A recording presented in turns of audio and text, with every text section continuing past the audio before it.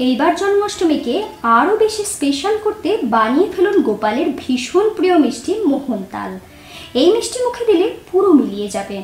খাওয়ার পরে তবেই বুঝতে পারবেন গোপালের এই মিষ্টি কেন এত প্রিয় ছিল। আমি ঋতুপর্ণা, আপনারা দেখছেন ঋতুর রান্নাঘর। মিষ্টিটা ভেঙে দেখাচ্ছি, দেখুন কতটা সুন্দর তৈরি হয়েছে এই মিষ্টি। এই মিষ্টি মুখে দেওয়ার সাথে সাথে আপনি কিন্তু কোনো একটা অন্য দুনিয়াতে যেন হারিয়ে যাবেন, যেমন করে গোপাল হারিয়ে যেত। গোপালের এই প্রিয় মিষ্টিটা বানানোর জন্য আমি এখানে নিয়েছি দু কাপ বেসন। এই বেসনটা একটু মোটা দানার বেসন হলে খুব ভালো হয়। যদি না পান, সেক্ষেত্রে কি বানাবেন না? অবশ্যই বানাবেন। যে বেসন আপনার কাছে অ্যাভেলেবেল রয়েছে, সেই বেসন দিয়েই বানাবেন। বেসনটা আমি একটা পাত্রে ঢেলে নিচ্ছি। দু কাপ বেসন একসাথে নিয়েছি। সাথে দিয়ে দিচ্ছি তিন টেবিল চামচ ঘি। ঘিটা একটু বেশিই লাগবে। অবশ্যই তিন টেবিল চামচ ঘি ব্যবহার করবেন। ঘিটাকে বেশ ভালো করে বেসনের সাথে লাগিয়ে নিচ্ছি, ঠিক ময়নের মতন করে এটাকে লাগিয়ে নিতে হবে, একটু ভালো করে টাইম নিয়ে এটাকে মাখিয়ে নিচ্ছি এক দু মিনিট এটাকে এইভাবে ময়নটা লাগিয়ে নেওয়ার পরে।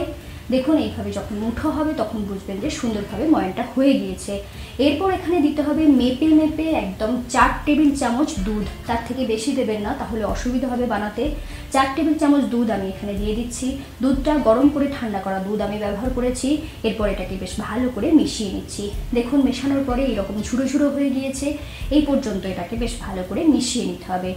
দেখুন, এর মধ্যে অনেক গাঁট তৈরি হয়ে গেছে, সেই জন্য কী করতে হবে? এটাকে চেলে নিতে হবে। চেলে নিলে এর মধ্যে গাঁটগুলো কিন্তু আর থাকবে না। এই কাজটা অবশ্যই আপনারা করে নেবেন। আমি এইভাবে এটাকে চেলে নেব।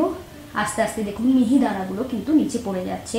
এটা আপনারা হাত দিয়েও চালতে পারেন কিংবা যদি স্বচ্ছন্দ হয়, চামচ দিয়েও এটাকে চেলে নিতে পারেন। তবে এই চালার সময় একটু টাইম লাগে, একটু ধৈর্য ধরে এই চালার কাজটা করে নিতে হবে। মোটামুটি চালা হয়ে গিয়েছে। শেষে দেখুন একটু মোটা দানাগুলো রয়ে গিয়েছি। এটা কিন্তু আর দিতে যাবেন না, তাহলে ভালো লাগবে না। সেজন্য এগুলোকে আমি বাদই দিয়ে দিচ্ছি।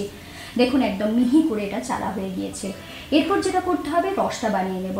তার জন্য আমি এখানে নিয়েছি এক কাপ চিনি আর লাগছে হাফ কাপ জল। এক কাপ চিনির জন্য হাফ কাপ জলই লাগবে, কারণ রসটা হবে মোটা রস। এখানে আমি নন রিফাইন্ড সুগার নিয়েছি। এটা শরীরের জন্য ভালো, সেই জন্য রঙটা ঠিক গুড়ের যেরকম কালার হয়, ঠিক সেই রকম এটা যদি ব্যবহার করতে পারেন, সেটা খুব ভালো হয়। যদি না থাকে, এমনি চিনি যে চিনিটা আপনার কাছে রয়েছে, সাদা চিনি, সেই চিনি ব্যবহার করবেন। এরপর রসটাকে ফুটিয়ে নিচ্ছি। খুব বেশিক্ষণ ফোটাতে হবে এরকম না। এটাকে মোটামুটি আমি হাই ফ্লেমে তিন মিনিট মতন ফুটিয়ে নিয়েছি। তাহলেই রসের মধ্যে পাক এসে যাবে।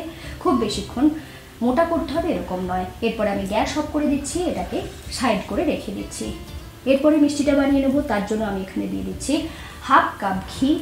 তারপর ঘিয়ের সাথে আমি দিয়ে দিচ্ছি যে বেসনটাকে বানিয়ে রেখেছিলাম, সেই বেসনের মিশ্রণটা। এখানে আপনাদেরকে বলে দিই, এই মিষ্টিটা বানানোর জন্য অনেকেই কিন্তু প্রচুর পরিমাণে ঘি ব্যবহার করেন। আপনারা কিন্তু এরকম করতে যাবেন না। আমি আপনাদের দেখিয়ে দিচ্ছি হাফ কাপ ঘি, এর জন্য যথেষ্ট। শুধুমাত্র একটু লো টু মিডিয়াম ফ্লেমে রেখে রেখে এটাকে ভাজলেই হয়ে যাবে। যে জিনিস অল্প ঘিয়েতে বানানো যাবে, সেই জন্য বেশি ঘি কেন ব্যবহার করতে যাবেন? কারণ বেশি ঘি আমাদের শরীরের জন্য কখনোই ভালো নয়। সেই জন্য হাফ কাপ ঘি ব্যবহার করবেন আমি বলছি, অনায়াসে এই মিষ্টিটা সুন্দরভাবে বানাতে পারবেন এবং টেস্টের কোনো রকম হেরফের হবে না। আস্তে আস্তে এটাকে ভেজে যাচ্ছি, ভাজতে ভাজতে আপনারা নিশ্চয়ই লক্ষ্য করেছেন যে কালারটা চেঞ্জ হয়ে গিয়েছে। কালারটা অনেকটা রেডিশ মানে লালচে রঙের হয়ে গিয়েছে। এটাই দরকার, এটাকে কিন্তু একটু ধৈর্য ধরে ভেজে নিতে হবে যাতে এর রঙটা একদম চেঞ্জ হয়ে যায়। আর যখনই এরকম লালচে রঙের এসে যাবে, তখনই কিন্তু এর থেকে একটা খুব সুন্দর গন্ধ বেরোবে। খুব সুন্দর গন্ধ বেরোতে শুরু করে দিয়েছে। এরপরে আরও একটু ভেজে নেব, কারণ আরেকটু লালচে হলে বেশি ভালো লাগবে। সেই জন্য আমি আরেকটু ভেজে নিচ্ছি। টোটাল আমি মোটামুটি ছ থেকে সাত মিনিট এটাকে লো টু মিডিয়াম ফ্লেমে রেখে ভেজে নিয়েছি। এর থেকে বেশি ভাজার দরকার নেই। দেখুন, সুন্দরভাবে কালার এসে গিয়েছে। এই সময় দিয়ে দিচ্ছি রস। রসটা কিন্তু ভীষণ উষ্ণ গরম থাকতে হবে। মানে কুসুম গরম যেটাকে বলে, সেরকম গরম থাকতে হবে। এরপর রসটা দেওয়ার পরে আমি এটাকে নাড়াচাড়া করে নিচ্ছি। দেখুন এবার কিন্তু দেখতে অনেকটাই সুন্দর হয়ে গিয়েছে। এরপর পাক করে যেতে হবে, তাহলেই এটা টাইট হয়ে আসবে। কিন্তু একটা জিনিস দেওয়া বাকি রয়ে গিয়েছে, সেটা হচ্ছে দুধ। এখানে অবশ্যই আপনারা হাফ কাপ দুধ ব্যবহার করবেন, তাহলে মিষ্টিটার টেস্টটা অনেক বেশি ভালো হয়। সেই জন্য আমি হাফ কাপ দুধ দেওয়ার পরে এটাকে বেশ ভালো করে নাড়াচাড়া করে নিচ্ছি। এটাকে আবারও পাক করে নিতে হবে, কারণ দুধ দেওয়ার জন্য এটা লিকুইড হয়ে গিয়েছে। সেই জন্য এই সময় আমি হাই ফ্লেমে রেখে এটাকে বেশ ভালো করে মেরে নিচ্ছি। দেখুন, অনেকটাই রস মরে গিয়েছে, কিন্তু এখনও টাইট টাইট হয়নি।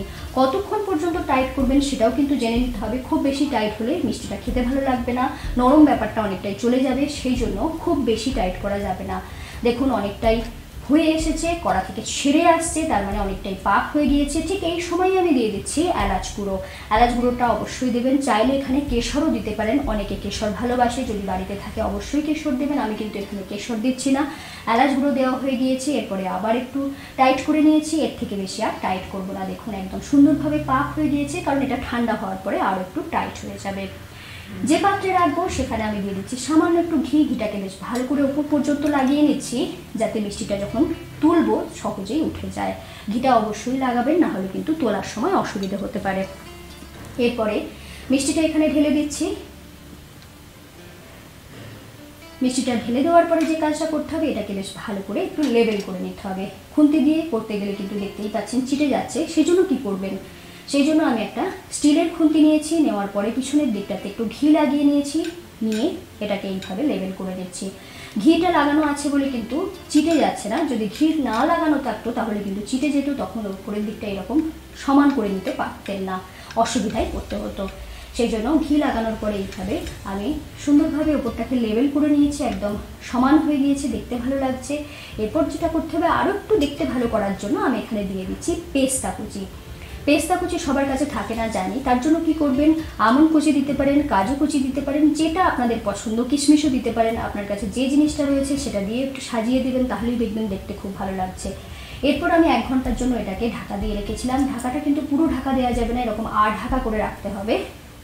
রাখার পরে দেখুন, একদম সুন্দরভাবে সেট হয়ে গিয়েছে। এরপর কিন্তু শুধুমাত্র পিস পিস করে কেটে নেওয়ার পালা। ছুরি দিয়ে আমি কেটে নিচ্ছি, দেখতেই পাচ্ছেন খুব সহজেই এটাকে কেটে নেওয়া যায়। আপনারা চাইলে এটাকে ফ্রিজে রেখেও কিন্তু সেট করে নিতে পারেন, তারপর কেটে নিতে পারেন। তবে আমি এটাকে ফ্রিজে রাখিনি নর্মাল টেম্পারেচারে বাইরে রেখেছিলাম, রাখার পরে এইভাবে পিস পিস করে কেটে নিচ্ছি। আমি চৌকো পেরি কাটছি, কারণ এই মিষ্টিটা চৌকো পেরি কাটে, সেই জন্য আমি কিন্তু অন্য কোনো কিছু করলাম না। এরপর এইভাবে খুন্তি দিয়ে আমি তুলে নিচ্ছি, খুব সহজেই উঠে যাচ্ছে, দেখতেই পাচ্ছি মিষ্টিটা ভীষণ ভালোভাবে তৈরি হয়েছে। আর এই মিষ্টির যে স্বাদ, সেটা কিন্তু না বানালে কোনো দিনই আপনারা বুঝতে পারবেন না।